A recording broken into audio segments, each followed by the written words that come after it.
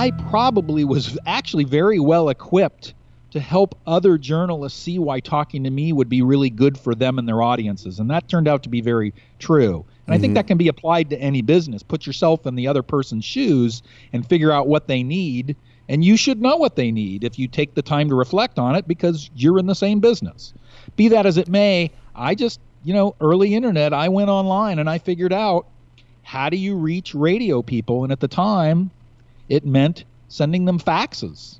And I made these amazingly uh, uh, compelling fax one pagers about what I could talk about in an interview.